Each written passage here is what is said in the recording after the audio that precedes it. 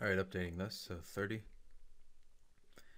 Um, what I'm going to do is I'm going to substitute, I'm going to let u equal to a x squared plus 2bx plus c. And then what's going to happen next, I'm going to let du equal to 2 quantity ax plus b dx. And then um, ax plus b dx equal to 1 half du.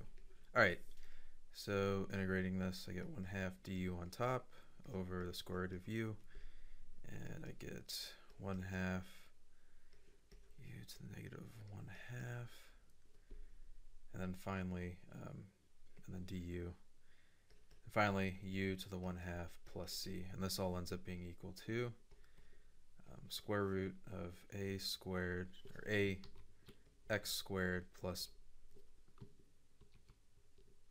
2bx plus c, little c, and then plus big C, the constant. And that's it.